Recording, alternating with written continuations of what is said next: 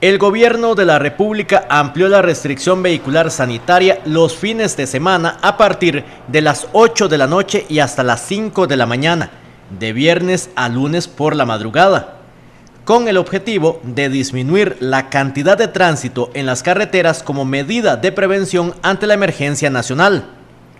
Así lo informó el ministro de Seguridad Pública, Michael Soto, esta semana la medida aplica para el fin de semana que va desde el sábado y hasta el lunes a las 5 de la mañana. La próxima semana rige desde viernes a las 8 de la noche y hasta el lunes a las 5 de la mañana. Recordó el ministro que se harán excepciones a aquellas personas que demuestren que están trabajando, saliendo de su lugar laboral o viceversa, y es importante identificar claramente a quienes están laborando, por ejemplo, repartidores de comida y que demuestren que son empleados de algún servicio express.